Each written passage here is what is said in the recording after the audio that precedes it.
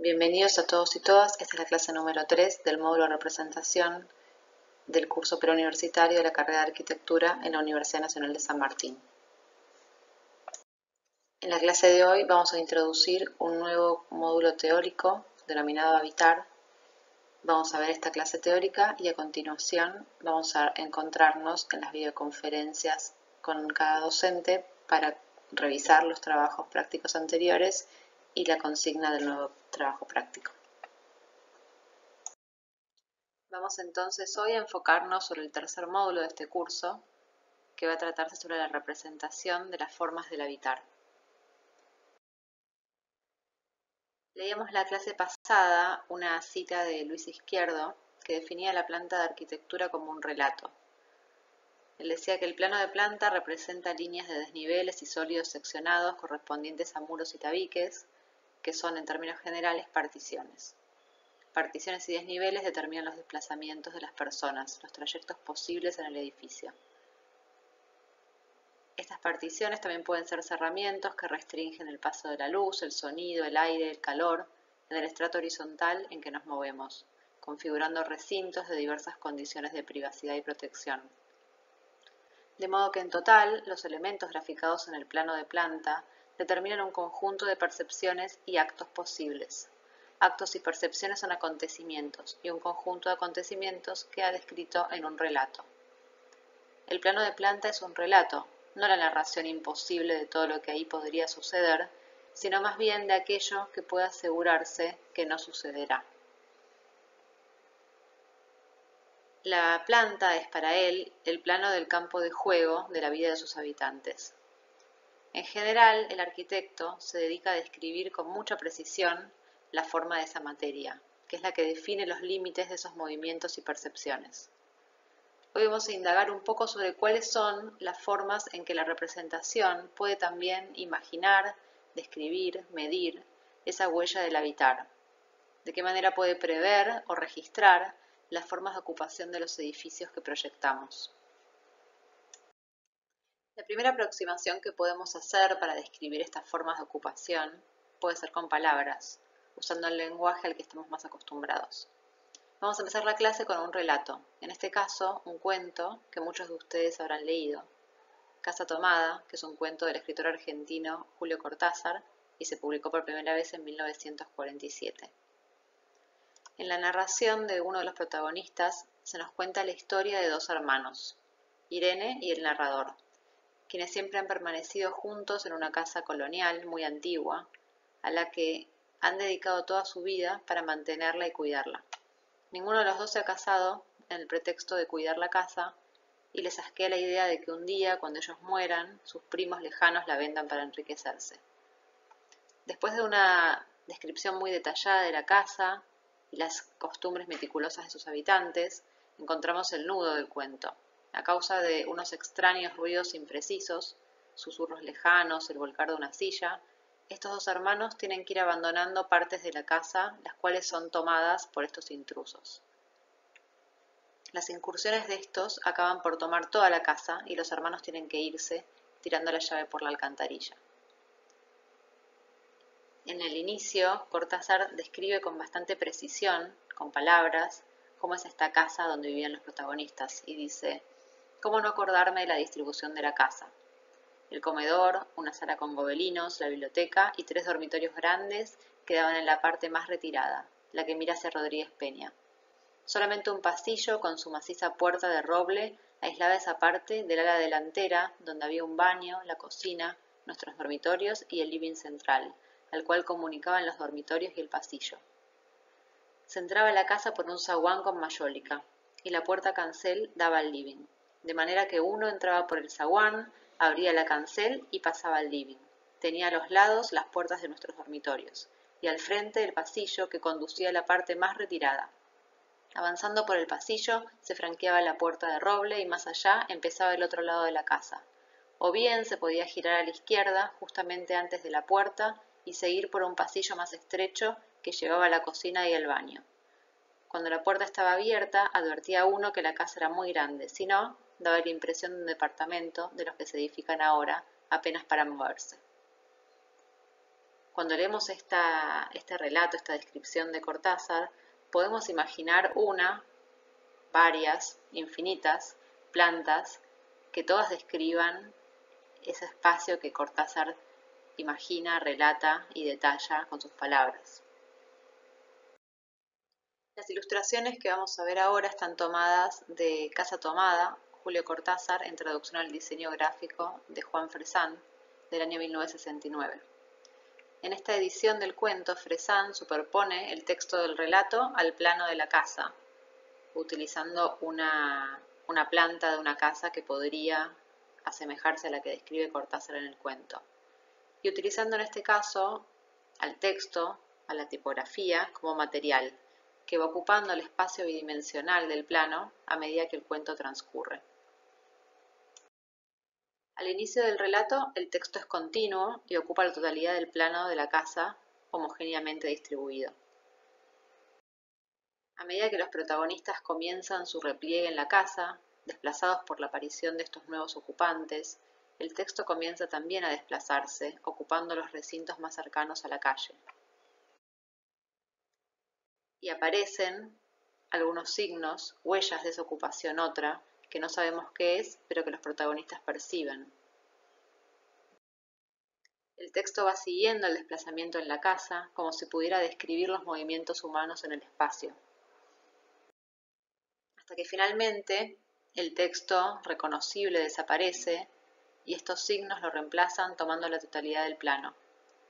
Estos dibujos son particularmente interesantes porque no se limitan a la mera traducción del espacio narrado en uno de los posibles planos de la casa, sino que realmente utilizan al plano como escenario de la narración, convirtiendo al plano y su interacción con el texto en uno de los personajes de la historia.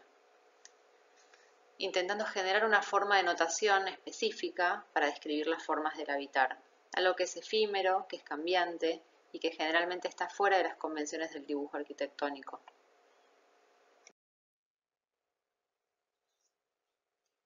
En el texto Figuras, puertas y pasillos, Robin Evans hace una definición sobre esta relación entre la planta y sus ocupantes. Si algo describe la planta es la naturaleza de las relaciones humanas, pues los elementos cuyo trazo registra, paredes, puertas, ventanas y escaleras, se emplean primero para dividir y más tarde para reunir selectivamente el espacio habitado. Pero lo que generalmente está ausente, incluso en el edificio ilustrado con mayor detalle, es cómo ocuparán las figuras humanas dicho espacio. Este hecho puede deberse a buenas razones, pero cuando las figuras aparecen en los dibujos de arquitectura, no tienden a ser seres importantes, sino emblemas, meros signos de vida. Vamos a estar durante la clase de hoy poniendo un poco en crisis esta descripción de Robin Evans y viendo de qué manera esta relación entre el dibujo convencional la arquitectura y el registro de las formas de ocupación pueden empezar a ponerse en relación. Si nos remontamos a la historia de la representación en la arquitectura, la figura humana aparece muy frecuentemente. En los antiguos tratados renacentistas, las primeras publicaciones que registran con precisión algunas tradiciones constructivas que se tomaban de la época griega y romana clásica, aparece siempre la figura del hombre como una forma de medir a los edificios o sus partes, relacionando directamente las partes del cuerpo humano con, por ejemplo, las distintas partes de una columna, comparando, por ejemplo, el perfil de la cabeza con el perfil del capitel de una columna, como es el caso de este tratado, Medidas del Romano, de Diego de Sangredo, a mediados del 1500 definiendo así medidas y proporciones para poder establecer patrones que permitan clasificar y definir los distintos estilos. Esta relación podría hacerse mediante un sistema de proporciones entre partes, por ejemplo, la relación entre el diámetro y la altura de una columna, o entre las piezas de una obra y un patrón exterior, como en este caso el cuerpo humano. Ya entrados en el siglo XX, Ernest Neutfer publica uno de los libros que probablemente sean los más difundidos en las escuelas de arquitectura del siglo pasado y que estuvo traducido al español como El arte de proyectar en arquitectura. En el libro Neufert se ocupa de definir un método proyectual que va de lo general a lo particular. Iba configurando catálogos de soluciones para darle forma a todos los espacios de una casa, poniendo en relación los distintos usos con las medidas del cuerpo humano realizando esas acciones y con las medidas estándares con las que la industria de la construcción producía los artefactos o elementos. En Alemania se estaba desarrollando al mismo tiempo el Plan DIN, que definía las medidas para la estandarización de la industria. El DIN es el patrón que usamos, por ejemplo, en las hojas A4, A3, etc. A lo largo del libro encontramos descripciones de estos espacios de uso y sus posibles medidas mínimas y máximas, teniendo en cuenta el movimiento de los cuerpos en las acciones que estos dibujos describen. Podemos ver, por ejemplo, la distancia que tiene que haber en una cocina entre dos mesadas enfrentadas, si hay una alacena, la altura de la alacena, si hay una ventana, si hay más de una persona usando al mismo tiempo ese espacio, el ancho de una puerta para que pase una persona con una bandeja, etc.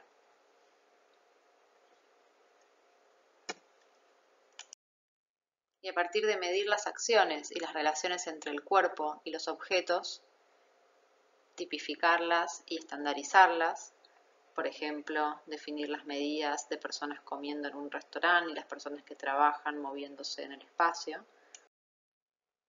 Pasar al segundo paso, que era elegir del catálogo provisto por la industria los elementos para incluir en el proyecto. Entonces esta estandarización de medidas a partir del sistema DIN ponía en relación al proyecto de las obras con lo que la industria producía para abastecer a esas mismas obras.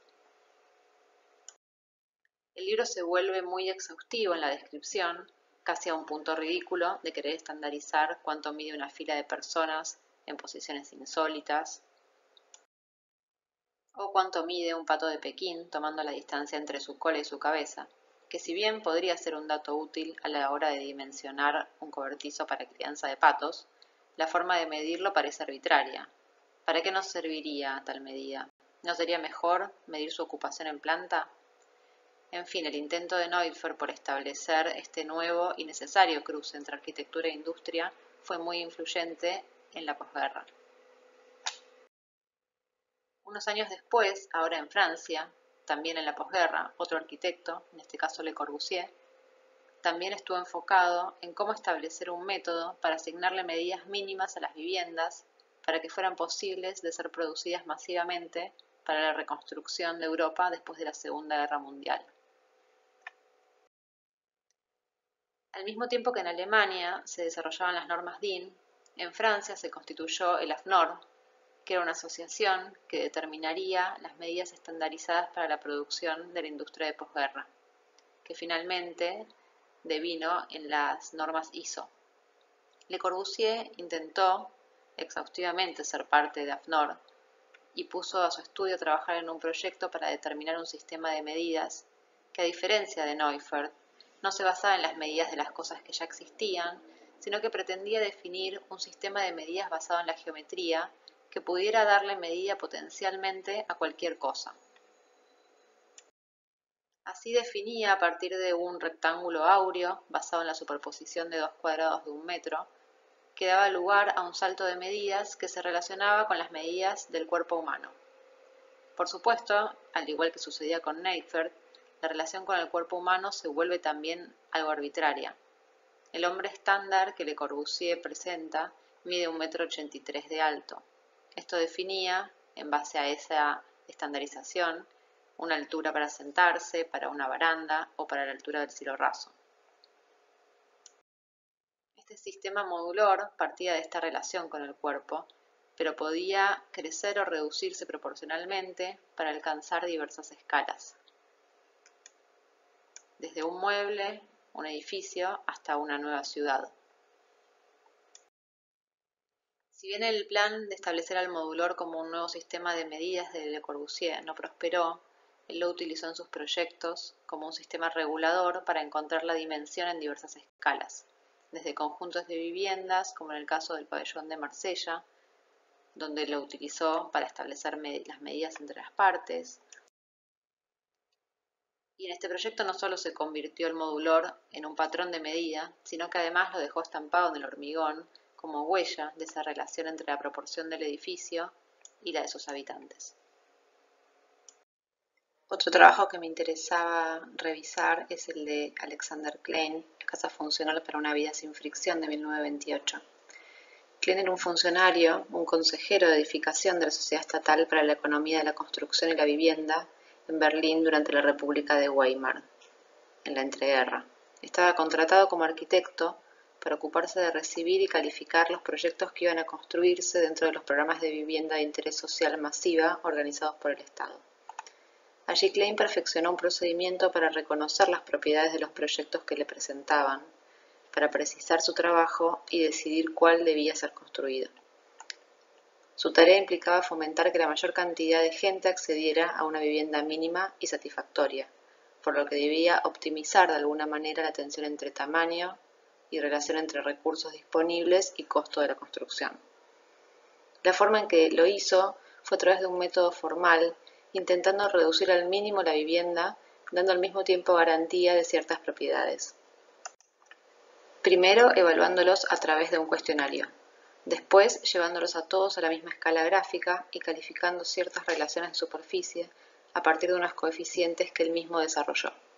Así, algunos proyectos resultan seleccionados con esta evaluación. A continuación, se los somete a un método gráfico comparativo que permite elegir solo algunos que son los que después van a decidir construirse a partir de este proceso estatal. Si nos detenemos en el desarrollo de sus pasos siguientes, hay una primera serie gráfica que analiza siempre comparativamente la menor o mayor cantidad de cruces en los recorridos de los habitantes de la casa para desplazarse por los diferentes ambientes.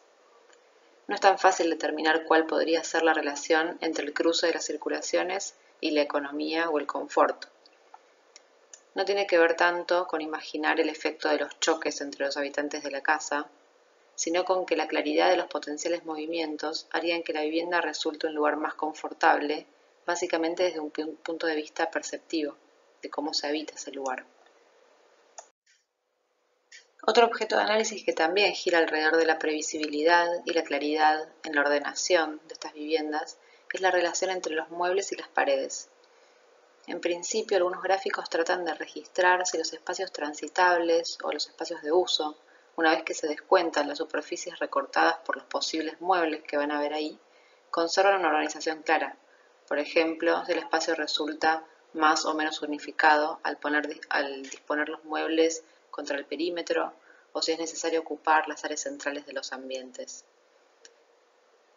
Al mismo tiempo, el otro ejercicio que se deduce de este material es la proyección de las sombras que arrojarían estos muebles sobre los pisos y las paredes a partir de la luz natural que proviene de las ventanas. De nuevo, la mayor cantidad y diversidad de sombras proyectadas puede afectar de alguna manera la percepción del lugar de un, modo, de un modo menos positivo que si las sombras se proyectaran poco o muy localizadamente. Klein estudia finalmente la relación entre los espacios habitables, intentando describir qué tan continuos o discontinuos son entre sí, y estos posibles recorridos secuenciables que los habitantes podrían experimentar en cada uno de los proyectos. Seguramente el material más original e interesante es el método gráfico comparativo que utiliza Crane. Se trata primero de dibujar los proyectos y probar, dentro de esta propuesta ajena, qué es lo que sucede si se empiezan a afectar las proporciones del proyecto en largo y en ancho, y fundamentalmente ver cuáles son las situaciones óptimas para aprovechar una vivienda de determinada superficie. De su propio ejercicio con el método, Crane deduce que los proyectos que funcionan mejor, por lo menos en su análisis, son los que tienden a estar en la diagonal del diagrama, que son aquellos que mantienen una proporción más cuadrada, semejante entre ancho y largo, y evitan las proporciones alargadas. En relación a esto quería que repasemos algunos fragmentos del libro La casa, breve historia de una idea, de Witold Ripsinski, que relata la historia de lo doméstico desde la Edad Media hasta la contemporaneidad. En el primer capítulo, Lo íntimo y lo privado, nos propone observar este espacio interior y doméstico a través de algunos retratos de la época. Vamos a leer algunas partes. Contemplemos la habitación que ilustró Alberto Durero en su famoso grabado San Jerónimo en su escritorio. El gran artista del Renacimiento siguió las convenciones de su época y no mostró aquel sabio de principios del cristianismo en un contexto del siglo V, ni en Belén, donde vivió en la realidad, sino en un escritorio cuyo amoblamiento era típico de la Nuremberg de Durero a principios del siglo XV. Vemos a un anciano inclinado sobre lo que está escribiendo en un rincón de una habitación. La luz entra por una gran ventana de vidrieras coronada por un arco.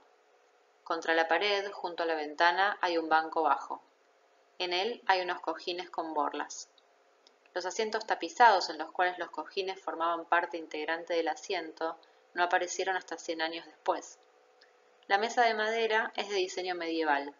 El tablero está separado del bastidor y si se sacan un par de clavos, todo se puede desmontar fácilmente cuando no se va a utilizar.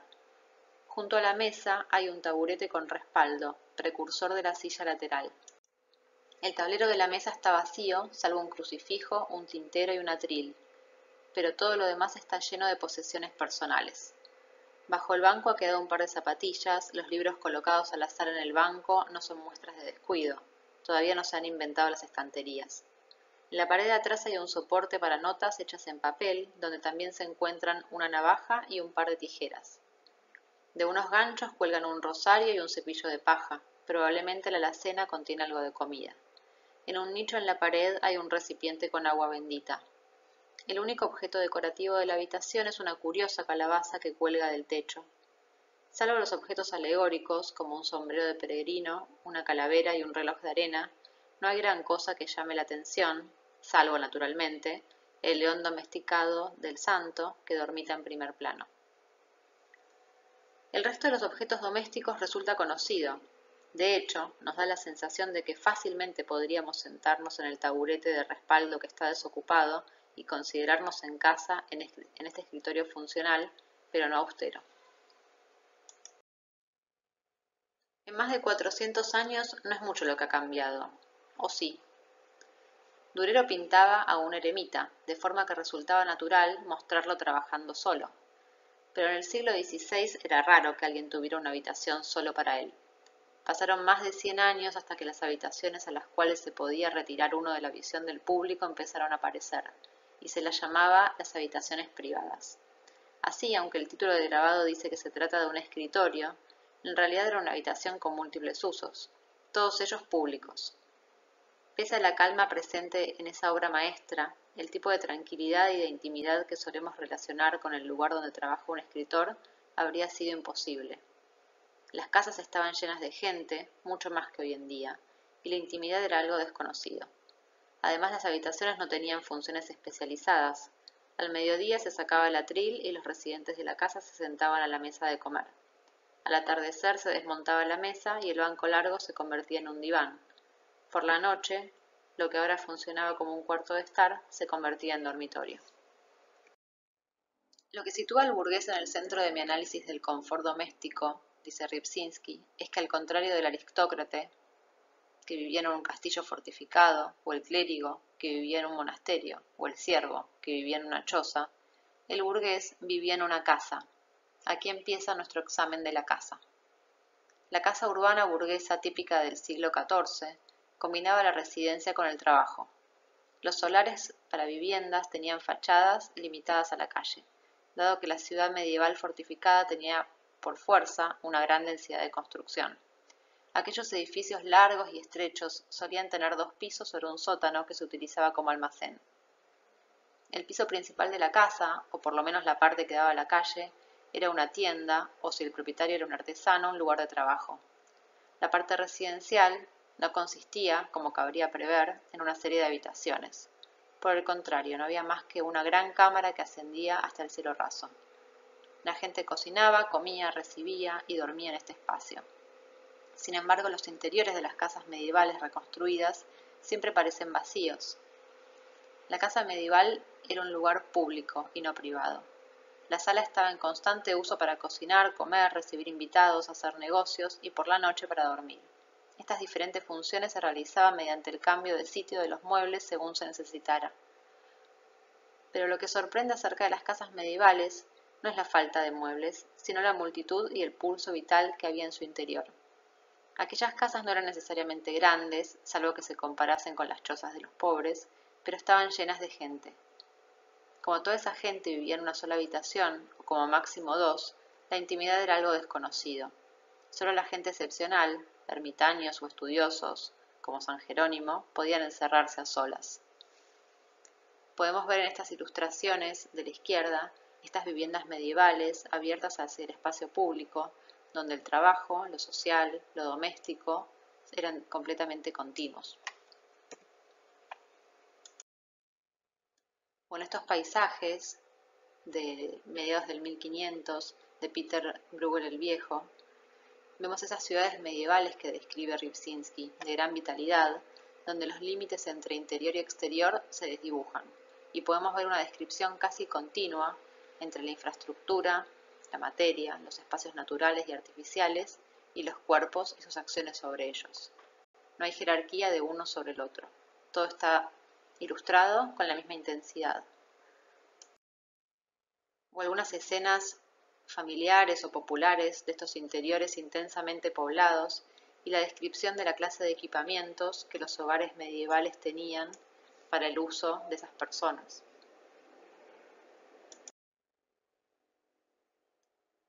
Sigue Ripsinski, las comodidades materiales fueron mejorando lentamente, pero también estaban ocurriendo otros cambios, no cambios tecnológicos, sino de modales y actitudes, durante el siglo XVII. A la habitación principal se la llamaba sal y era un espacio grande, parecido al hall inglés, utilizado para comer, pasar el rato y recibir a visitantes. Ya no se cocinaba en el hogar central, sino en una habitación separada reservada para estos fines había una nueva habitación que solía utilizarse exclusivamente para dormir, la chambre. También había cuartos secundarios conectados con el dormitorio, el garde-robe, que no debe confundirse con el retrete inglés, ya que en este caso se trataba de un guardarropas o vestidor, y el cabinet o la despensa.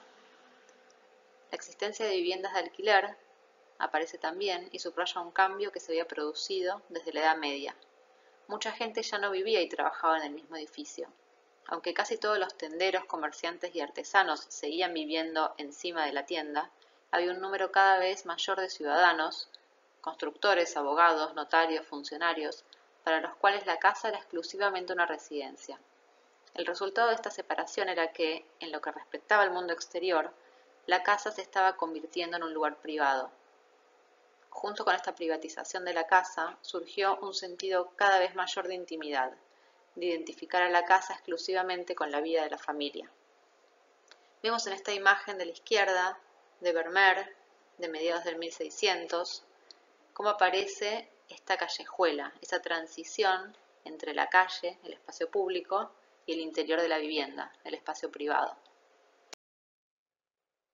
Y así podemos recorrer una serie de artículos donde vamos viendo una genealogía de cada uno de estos espacios que se empezaban a especializar para una acción determinada. Por ejemplo, el comedor, que incluía, junto con su evolución, también la evolución de los rituales y los modales al comer de cada cultura. O el baño, como tuvo ese pasaje de usos ligados al placer a usos ligados a la higiene y la limpieza, cambiando también su condición de espacio social o más público para convertirse en uno de los espacios de mayor intimidad o el dormitorio y la transformación de este espacio íntimo a lo largo de la historia.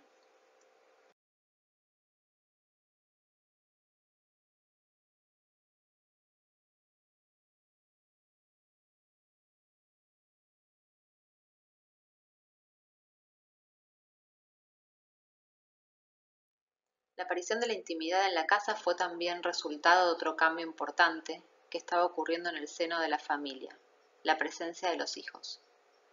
La idea medieval de la familia era diferente de la nuestra en muchos sentidos, especialmente en su actitud nada sentimental hacia la infancia. No solo los hijos de los pobres trabajaban, en todas las familias a los hijos se los enviaba fuera de la casa cuando cumplían los siete años de edad. La función de este aprendizaje, fuera un oficio o en una corte, equivalía al papel de la educación. Esa situación empezó a cambiar en el siglo XVI, cuando se amplió la educación académica formal. El confort en el sentido material seguiría sin llegar hasta el siglo XVIII, al igual que el perfeccionamiento de las tecnologías como el abastecimiento de agua, la calefacción y la mejora de la subdivisión interna de la casa. Pero ya se había iniciado la transición de la casa pública feudal a la casa particular familiar. El sentimiento cada vez mayor de la intimidad doméstica tuvo tanto de invención humana como cualquier artefacto técnico. De hecho, quizás haya sido más importante, pues no solo afectó a nuestro entorno material, sino también a nuestra conciencia. Vemos a la izquierda esta pintura de Peter de Hock de 1660. Aparece en el siglo XVII en los Países Bajos una novedad en el arte que tuvo que ver con que este florecimiento de la burguesía y la vida urbana, junto con el calvinismo holandés, que vetaba las escenas religiosas de las iglesias, volcó a los pintores, como en este caso Peter de Hock, a que dejaran de dedicarse a pintar escenas bíblicas o retratos de la monarquía para trabajar con estas familias burguesas holandesas y comenzar a retratar una vida doméstica del ciudadano en su vida cotidiana. Aparecen en estos cuadros escenas de la vida campesina, paisajes, paisajes urbanos, con animales, con flores, con bodegones, de distintas clases.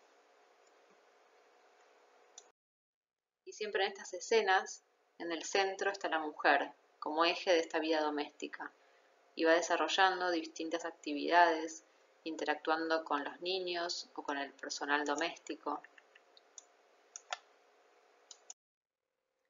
Estas escenas de género reflejaron la creciente prosperidad de la sociedad holandesa.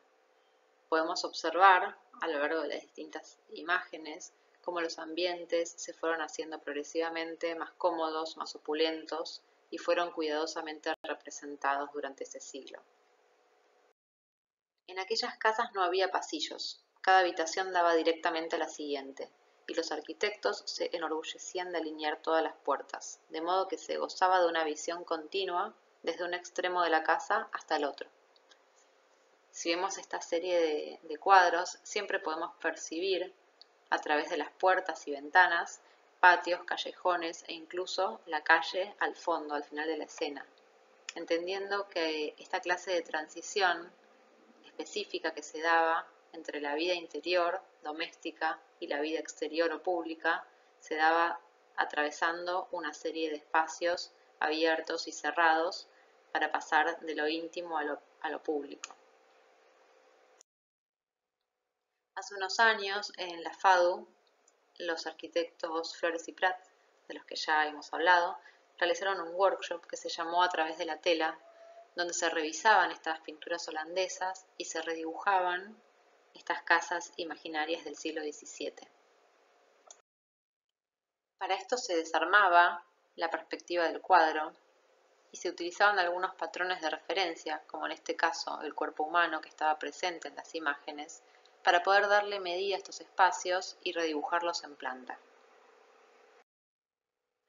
Flores y Prats, como vimos en clases anteriores, están muy preocupados por esta relación de medida entre sus edificios y las personas.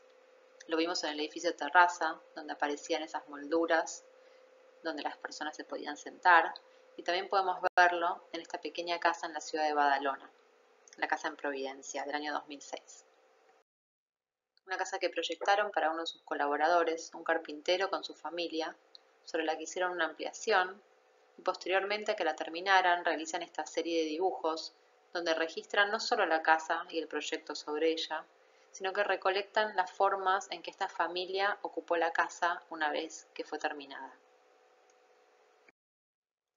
Dibujando con la misma intensidad los muros, las escaleras, las ventanas, los equipamientos fijos, hasta aquí todas las cosas que los arquitectos proyectamos. Pero también dibujan muebles, no cualquier mueble que serviría en un plano de referencia para tener una escala, sino efectivamente los muebles que los habitantes pusieron y usaron en esa casa. Las personas y las formas de ocupación, los movimientos, la apertura de las puertas, la posición de los objetos y los cuerpos en acción. Y si subimos al primer piso donde están los dormitorios, a través de esta escalera central, y vemos dibujada la vegetación, a los hijos jugando en el piso, desarmando ese límite entre el dormitorio y el pasillo de circulación. Vemos también el interior de los muebles con sus objetos y pertenencias. Vemos a los habitantes haciendo algunas acciones cotidianas registradas en estas fotografías y el redibujo de estas acciones en planta. Acciones que sabemos que son efímeras, que no permanecen en el tiempo como lo hacen los muros, las escaleras y las barandas, pero nos permiten, a partir del registro, imaginar de qué manera estos espacios pueden ser ocupados y también transformados. En 1997, la arquitecta Sarah Wigglesworth realizó esta serie de dibujos llamados Desorden creciente en una mesa de comedor, que describen los rituales de comer que se desarrollan en el plano de la mesa del comedor y que para ella son similares a los rituales de la vida doméstica. Estos dibujos describen una mesa de comedor antes, durante y después de una comida y explora cómo se puede comparar la relación entre los movimientos de los comensales alrededor de una mesa con las interacciones entre los ocupantes en un hogar. Sin dibujar a los cuerpos, sino solamente la huella material de sus movimientos, a través de dibujar todas las posiciones que adquieren los objetos a partir del desplazamiento de las personas interactuando con ellos. Y ver de qué manera la acción de estas personas sobre los objetos termina reconfigurando o transformando esa escena inicial. Otro ejemplo que me interesaba mostrarles es de, en este caso, Natalija Subotinsik, que ella dibuja, redibuja la oficina de Sigmund Freud en Viena. Ella hace un análisis muy interesante sobre la oficina de Freud y la relación con sus teorías y prácticas. Investigó cómo Freud dispuso las habitaciones en las que vivió y trabajó durante varios periodos de su vida profesional, incluida esta que es la más famosa, que es la oficina en Viena, su casa y oficina entre 1891 y 1938.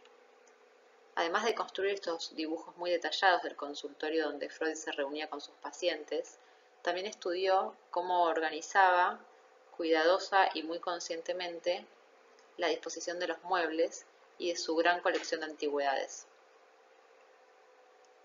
Ella revela que los cambios más importantes en el desarrollo de las teorías del psicoanálisis de Freud estuvieron directamente precedidos o seguidos por alteraciones físicas y espaciales que hizo en su oficina. Volvamos entonces a esta planta que veíamos la semana pasada, donde Mies van der Rohe proyecta una casa rural y define con extrema precisión la medida y posición de cada una de sus partes. Salvo por el dibujo de la escalera y teniendo un ojo bastante entrenado que nos permitiría saber la distancia estándar entre escalones, no hay en el dibujo signos de la escala de este edificio podría ser el detalle de una pieza metálica o una ciudad. Sin embargo, en él están todas las instrucciones necesarias para construir este espacio, que como veíamos en las clases anteriores, Mies podía imaginar no solo en su dimensión espacial, sino también en su dimensión perceptiva.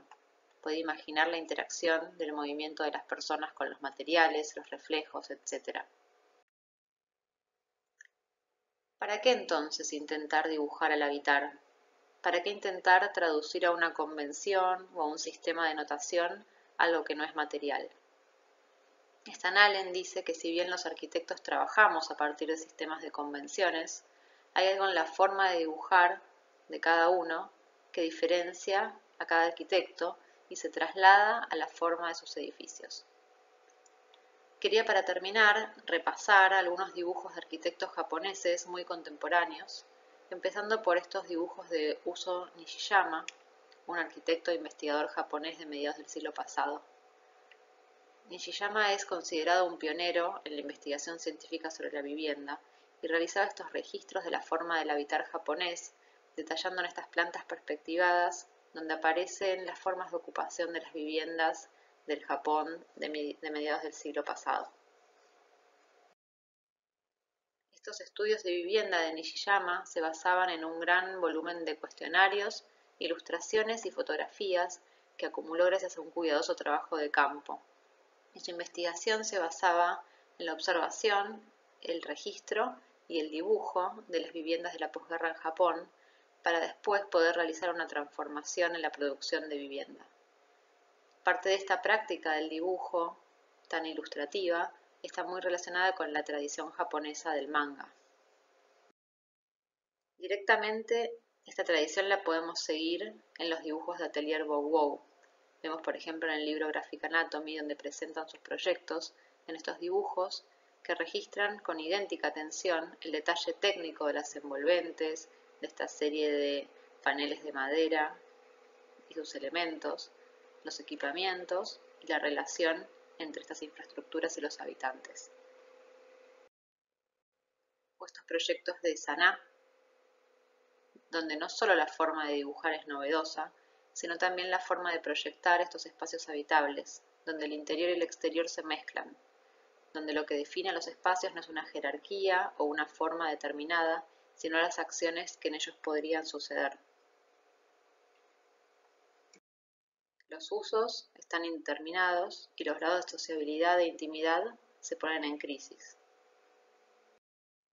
Y el espacio exterior pasa a ser parte del espacio privado y doméstico. Lo natural y lo artificial se entrecruzan, con usos nuevos e inesperados. Algo similar sucede en la casa NA de Sou Fujimoto, que se presenta como una infraestructura capaz de ser ocupada por los usuarios, casi como ese árbol que dibuja para presentar el proyecto, donde los cuerpos se van acomodando entre las ramas. En esta casa, los usos no están predefinidos y la medida de los espacios permite estar parado, sentado, recostado y usar todas las superficies. No solo en las fotografías y en los dibujos de Fujimoto aparece la figura humana, sino también en estas maquetas donde vemos construido con igual detalle el equipamiento, los objetos y las personas. Junya Ishigami hace esta otra clase de dibujos donde aparece con mucha intensidad la interacción de los espacios con la vegetación, construyendo paisajes interiores. la naturaleza es parte de lo que se proyecta, se registra y se dibuja. Y se dibuja no solo la vegetación, sino la interacción de la vivienda con el ambiente, la forma en que entra la luz, el aire o las visuales que se tienen desde adentro hacia afuera. Y finalmente, este, este proyecto de, Ishigami para el, Jardín Botánico Art Biotop, donde se mueve un bosque de árboles existentes, se replanta y se produce este nuevo parque. Y para hacer esa acción se produce un catálogo donde se registran las especies, su forma, su altura, sus raíces, con precisión casi de un detalle constructivo y se producen también esta otra clase de dibujos más pictóricos donde se registran texturas, coloraciones, materiales que permiten describir a partir de los dibujos una atmósfera y que finalmente la vemos en las fotos del parque terminado. Vamos a terminar este curso con la última parte del trabajo práctico que se llama Habitar. Vamos a realizar una nueva capa sobre este dibujo que venimos haciendo progresivamente, registrando ahora estas nuevas atenciones que surgen a partir de lo que comentamos en la clase. Sobre el conjunto de hoja 1 más hoja 2, posicionar una nueva hoja de papel calco y continuar dibujando un nuevo conjunto de líneas que permitan determinar las huellas de las formas del habitar en la casa, comenzando por los muebles y el equipamiento, su medida, posición y organización y la relación con su medio formas de acceder, luz natural, artificial, vistas, descripción del paisaje inmediato. Considerar si al incluir esta información es necesario completar el registro de la etapa 01, geometría. ¿Las líneas registradas alcanzan para posicionar todos los elementos nuevos o necesitamos incluir más líneas en la hoja 1? Este dibujo se realizará en lápiz verde. En este caso podemos incluir una escala de tonos y se registrará fotográficamente. Al finalizar la clase, se cargará el avance de la consigna 3 a través de Google Classroom y antes de comenzar la clase 4 se cargará la versión revisada. Esta es la última clase teórica de este curso, así que les deseo a todos mucha suerte en lo que continúa del curso de ingreso y nos vemos en las próximas clases. Muchas gracias.